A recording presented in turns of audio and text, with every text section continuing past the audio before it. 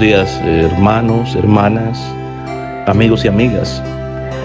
Bendiciones en Jesús, nuestro Señor.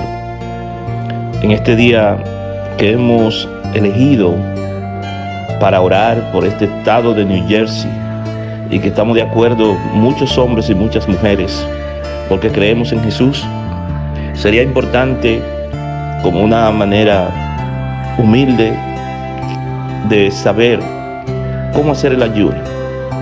No basta con quedarnos acostados en la cama, durmiendo, sin comer nada.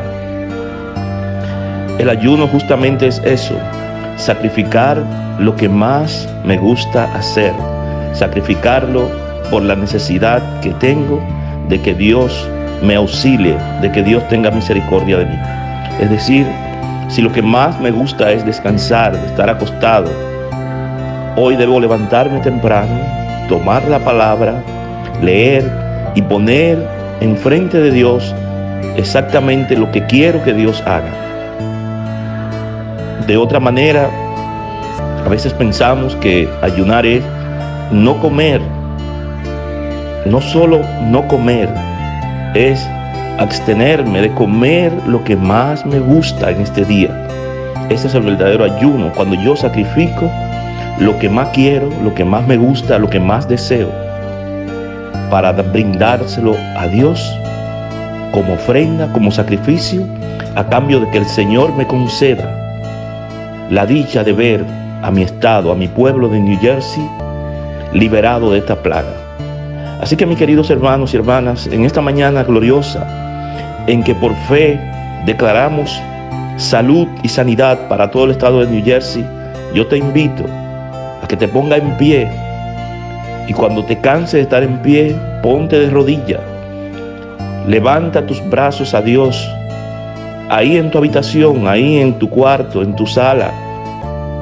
Invita a tu esposa, invita a tu esposo, a tus hijos, a que juntos hagamos ese clamor, que declaremos ante el mundo que Jesucristo es el Señor, que la ciencia ha terminado y justamente ahí donde termina la ciencia, ciencia empieza la fe, empieza Dios, nuestro Creador, a través de la redención que nos da por su Hijo Jesucristo, que durante 40 días y 40 noches se fue al desierto a ayunar por ti y por mí, por las generaciones venideras, y que concretamente en estos días celebramos ese último ayuno que él hizo cuando fue apresado maltratado, humillado, escupido durante tres días, sin comer, sin beber, solamente por el amor que siente por ti y por mí. Así que mis queridos hermanos y hermanas, esta es la hora, este es el día en que el Señor diseñó para que tú y yo dejemos ver, resplandecer la gloria de Dios en este estado jardín.